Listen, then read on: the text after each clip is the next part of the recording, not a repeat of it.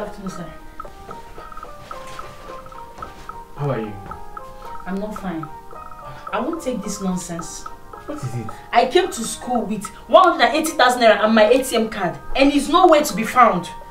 The headmistress is busy telling me nonsense, telling me trash. Calm down now, calm down. Where do you keep the money? In my bag, sir. Well, uh,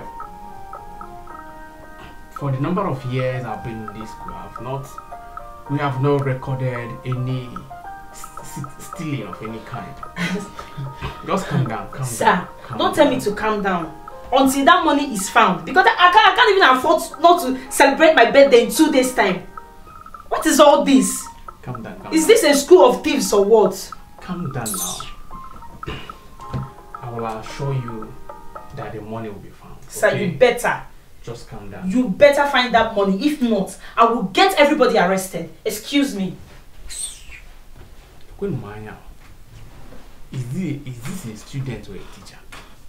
Or probably a principal? You only you waka come. What do I do now?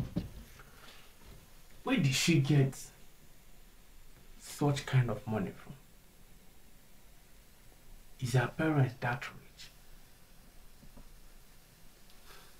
That she want to celebrate her birthday with such a huge amount of money?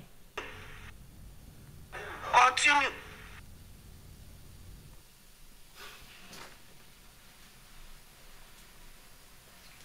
Good afternoon, sir. How are you, Chika? Fine, sir. Um, sir, we have a subject now. Oh, oh, oh, oh. Sorry, I forgot. Okay, I'll soon be there. Please, uh, before you return to your class, kindly call uh, Yemi for me, okay? Alright. Thank you.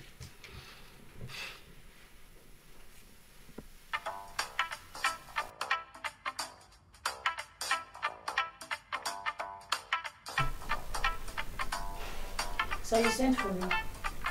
Yes. I heard that the money had been found. Yes, sir. I, you know, I wanted to give you back the money, but thank God it's found now. Okay. So, can we hang out? No. Why not? Nothing. I'm just occupied. Hmm. Excuse me, sir. Quite you when?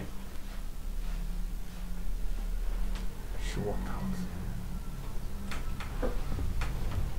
What on earth is giving her boldness? A student walking out of teacher's house with full, boldness.